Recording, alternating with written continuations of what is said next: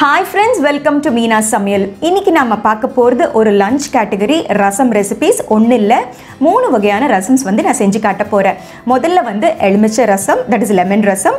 அடுத்தது வந்து மிளகு ரசம் மூணாவது வந்து நெல்லிக்காய் ரசம். இந்த மூணு ரசம்ஸுமே வந்து உடம்புக்கு ரொம்ப நல்லது அப்படிங்கிறதையும் தாண்டி இம்யூனிட்டிக்கு வந்து ரொம்ப ரொம்ப நல்லதுங்க. ரசம் அப்படிங்கிறது வந்து ஒரு காமனான ரெசிபியாக இருந்தாலும் சின்ன சின்ன வேரியேஷன்ஸில் வந்து வீட்டுக்கு வீடு டிஃபர் ஆகும். ஸோ என்னுடைய style of making these three rasams எப்படி செய்கிறது அப்படிங்கிறத பார்ப்போம். லெமன் ரசம் செய்ய தேவையான பொருட்கள் ஒரு டேபிள் ஸ்பூன் தூரம் பருப்பு வந்து நிறைய தண்ணி விட்டு வேக வச்சுட்டு ஒரு பவுலில் எடுத்து வச்சுருக்கேன். மூணு பச்சை மிளகா ஒரு கால் டீஸ்பூன் மஞ்சள் தூள் ஒரு ரெண்டு டீஸ்பூன் சீரகம். சீரகம் வந்து ரொம்ப ரொம்ப முக்கியமான இன்க்ரீடியண்ட் ஒரு டேபிள் ஸ்பூன் வெல்லம் கால் டீஸ்பூன் பெருங்காயம் ரெண்டு எலுமிச்சம்பழம் பொடியாக நறுக்கிய கொத்தமல்லி தேவையான அளவு உப்பு. அவ்வளோதாங்க ரொம்ப ரொம்ப சிம்பிளாக செஞ்சு முடிச்சிடலாம். முதல்ல ஒரு பேனை ஹீட் பண்ணிக்கலாம். இந்த பருப்பு தண்ணியை சேர்த்துக்கலாம்.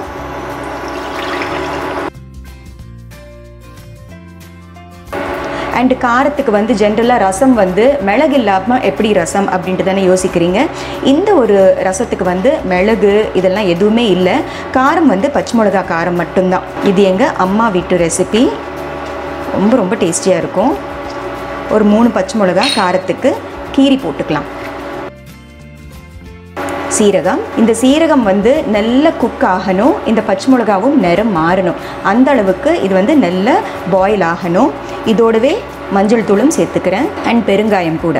ஏன்னா இதுக்கு தாளிப்பு அப்படிங்கிறது எதுவுமே இல்லை. ஸோ இதில் கொதிக்கிற அப் அதனால தான் நான் பெருங்காயம் கூட இப்போவே சேர்த்துட்டேன். இன்ஃபேக்ட் உப்பு கூட இப்போவே சேர்த்துடலாம். அண்ட் பேலன்ஸ் பண்ணுறதுக்கு வேண்டி வெல்லம். ஸோ எல்லா இன்க்ரீடியன்ஸுமே சேர்த்தாச்சு. இது வந்து நல்லா கொதிக்கணும். அதாவது அந்த பச்சை மிளகா கலர் மாறணும். அந்த சீரகமும் வந்து நல்லா அந்த எசன்ஸ் வந்து அப்போ தான் வெளியில் வரும்.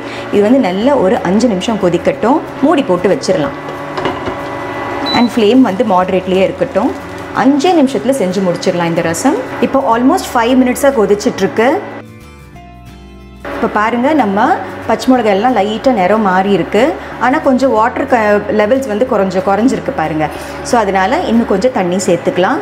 திரும்பவும் நல்லா கொதிக்கட்டும். இப்போது இன்னொரு ஃபைவ் மினிட்ஸ் தான் வந்து நம்ம ரசம் கொதிச்சிட்ருக்கு. எப்படி இருக்குது அப்படிங்கிறத பார்ப்போம். இப்போ பார்த்தீங்கன்னா நம்ம ஃபஸ்ட்டு நான் காட்டினதை விட இப்போ பாருங்கள் ஒரு பலமே இல்லாமல் இருக்குது பச்சை மிளகா ஸோ இதுதான் கரெக்டான கன்சிஸ்டன்சி அண்டு அந்த டைம் டியூரேஷன் அப்படிங்கிறது. ஸோ நான் ஸ்டவ் சுவிச் ஆஃப் பண்ணிடுறேன். இப்போ வந்து நல்ல பாய்லிங் ஹாட்டில் இருக்குது நம்ம இப்போ டிஸ்டர்ப் பண்ணாமல் அப்படியே விட்டுடலாம் ஒரு அஞ்சு பத்து நிமிஷம் ஓரளவுக்கு வந்து வார்ம் ஆனதுக்கு அப்புறமா எலுமிச்சம் வந்து இதில் பிழிஞ்சிடலாம். So let's wait for five to ten minutes இப்போ almost five to ten minutes முடிஞ்சாச்சு. நம்ம ரசம் வந்து நல்லா ஆறிடுச்சுங்க. அதாவது வார்மாக இருக்கலாம். ரொம்ப uh, ஹாட்டாக இருக்கக்கூடாது. அவ்வளோதான். ஸோ இந்த லெமனை வந்து நம்ம கட் பண்ணிக்கலாம்.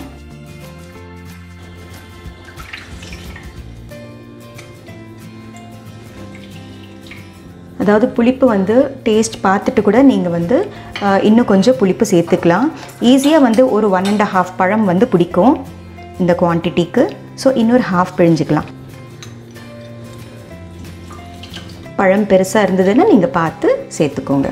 அடுத்து வந்து பொடியை நறுக்கிய கொத்தமல்லியை சேர்த்துக்கலாம். என்னைக்காவது வந்து நம்ம லஞ்ச் மெனு வந்து ரொம்ப ஹெவியாக இருக்கும் ரசம் வேண்டாம் ஸ்கிப் பண்ணிடலாம் அப்படின்னு நினைக்கும் போது இந்த பர்டிகுலர் ரசம் வந்து நீங்கள் செஞ்சீங்கன்னா இது சாதத்தில் பிசைஞ்சு சாப்பிட்றத விட ஒரு சூப்பாக பக்கத்தில் ஒவ்வொரு சிப்பாக நம்ம வந்து சாப்பிடும்போது நம்ம சிப் பண்ணிக்கிட்டே நம்ம சாப்பிட்டோம்னா ரொம்ப ரொம்ப டேஸ்டியாக இருக்கும் ரொம்ப லைட்டாக கூட இருக்கும் ரொம்ப டிஃப்ரெண்ட்டாக இருக்கும். இது வரைக்கும் நீங்கள் ட்ரை பண்ணாமல் இருந்தீங்கன்னா இது எங்கள் வீட்டு ரெசிபி கண்டிப்பாக ட்ரை பண்ணுங்கள் so our lemon rasam is ready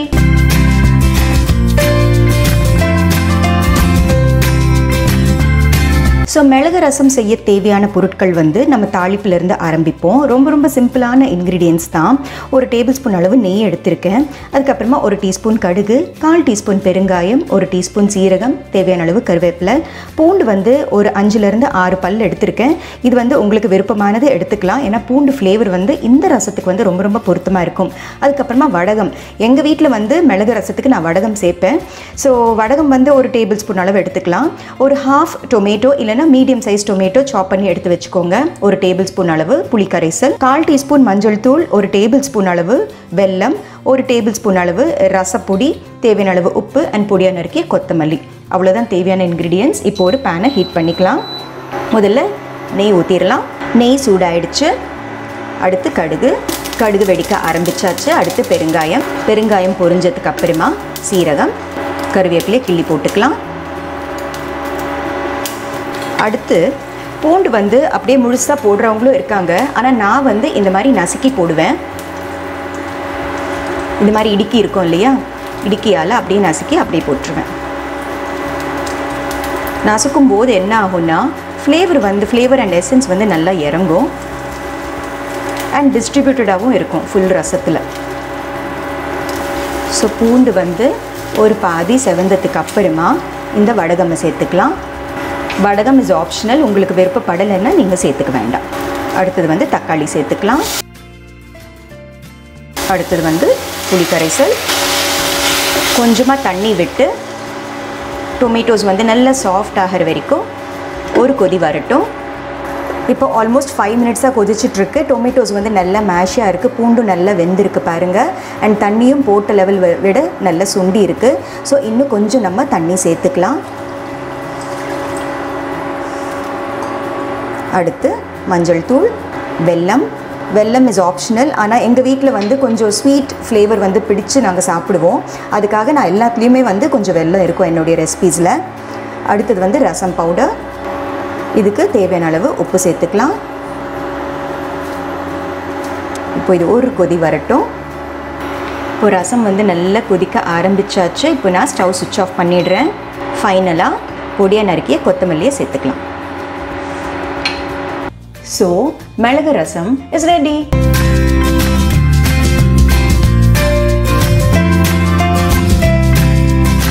so நெல்லிக்காய் ரசம் செய்ய தேவையான பொருட்கள் வந்து நெல்லிக்காய் வந்து ஒரு மூணு நெல்லிக்காய் சைஸ் வந்து நல்லா பெருசாக இருக்கிறதுனால நான் மூணு சூஸ் பண்ணியிருக்கேன் உங்கள் வீட்டுக்கு ஏற்ற குவான்டிட்டி வந்து நீங்கள் நெல்லிக்காவை இன்க்ரீஸ் பண்ணிக்கலாம். ஸோ இந்த மூணு நெல்லிக்காய்க்கு வந்து ஒரு ரெண்டு டீஸ்பூன் இல்லை ஒரு டேபிள் ஸ்பூன் அளவு துவரம் பருப்பு வாஷ் பண்ணி சோக் பண்ணி வச்சுருக்கேன். அதுக்கப்புறமா ஒரு குவார்ட்டர் டீஸ்பூன் மஞ்சள் தூள். இதுக்கு அதர் இன்க்ரீடியன்ஸ் வந்து ஒரு டேபிள் ஸ்பூன் அளவு பெப்பர் பவுடர் ஒரு டீஸ்பூன் அளவு சுக்கு that is dry ginger powder ஒரு டீஸ்பூன் அளவு வெல்லம் தேவையான அளவு கருவேப்பிலை அண்டு தாளிப்புக்கு வந்து வித்தியாசமாக ஒரு டீஸ்பூன் கருப்பு எள்ளு தேவையான அளவு உப்பு அண்ட் தாளிப்புக்கு வந்து நல்லெண்ணெய். இது வந்து ருசிக்கு சாப்பிட்றத விட மெடிசினல் ப்ராப்பர்ட்டிஸ்க்கு சாப்பிட்றது அப்படிங்கிறது தான் இந்த ரசத்தோட ஸ்பெஷாலிட்டி ஸோ குக்கரில் வந்து ஆல்ரெடி தண்ணி ஊற்றி ரெடியாக எடுத்து வச்சுருக்கேன். ஸோ இந்த ஊற வச்ச தூரம் பருப்பை முதல்ல சேர்த்துக்கலாம். தண்ணியோடு இந்த பருப்பு தான் it will determine the thickness of the rasam அதனால் வந்து தேவையான அளவு தூரம் பருப்பு சேர்த்துக்கோங்க. அடுத்து நெல்லிக்காவை கட் பண்ணி சேர்த்துக்கலாம். இது வந்து எப்படியும் வந்து நம்ம மசிக்க போகிறோம் அதனால ரஃப்பாக சாப் பண்ணிக்கிட்டால் கூட போதுமானது. ஸோ நெல்லிக்காய் எல்லாம் சாப் பண்ணி முடிச்சாச்சு. அடுத்தது வந்து மஞ்சள் தூளியும் சேர்த்துக்கலாம். ஸோ லிட்டை க்ளோஸ் பண்ணி வெயிட் வச்சிடலாம். ஒரு மூணு விசில் வரட்டும்.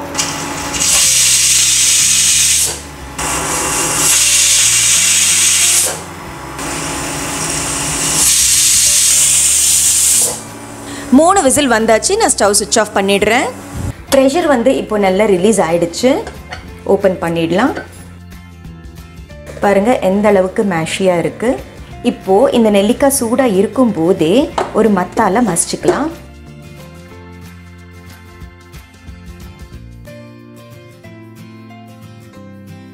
ஸோ இது வந்து மசிச்சு முடிச்சாச்சு. அடுத்தது வந்து ஒரு பேனை ஹீட் பண்ணிக்கலாம். இந்த நெல்லிக்காய் மிக்சரை இதில் சேர்த்துடலாம். ஸோ நம்மளுக்கு டைல்யூஷன் பத்தாது. கொஞ்சம் தண்ணியை சேர்த்துக்கலாம்.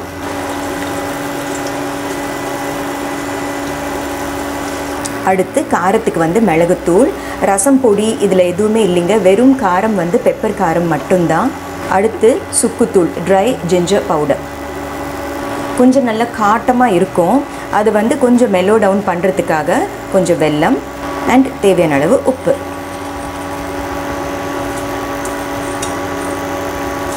இந்த வெல்லம் கரையணும் உப்பும் கரையணும். ஒரு ரெண்டு நிமிஷம் கொதிக்கட்டும். ரொம்ப சிம்பிள் அண்ட் ஈஸி ரசமுங்க. ஆனால் மெடிசினல் ப்ராப்பர்ட்டிஸ் வந்து அபாரம் அப்படின்ட்டு சொல்லலாம். நெல்லிக்காய் வந்து நிறைய vitamin C high in vitamin C உடம்புக்கு ரொம்ப நல்லது. இம்யூனிட்டி சிஸ்டம்க்கு வந்து நல்லது.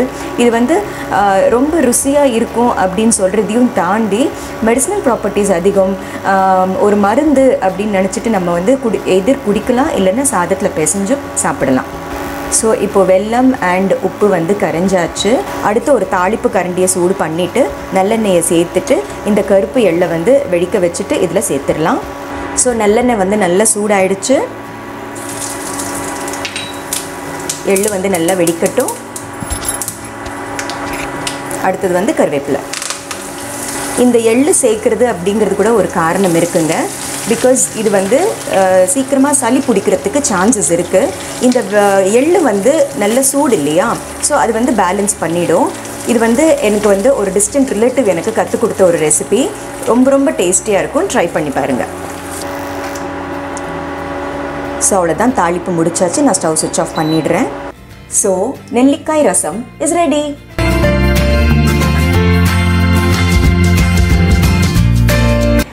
lemon rasam மிளகு ரசம் அண்ட் நெல்லிக்காய் ரசம் எப்படி செய்கிறது அப்படிங்கிறத பார்த்தீங்க இல்லையா? ஸோ கண்டிப்பாக இந்த மூணு ரெசிபிஸ் நீங்களும் ட்ரை பண்ணி பாருங்கள் ஸோ மீனா சமையலை பாருங்கள் லைக் ஷேர் சப்ஸ்கிரைப் பண்ணுங்கள் பாய்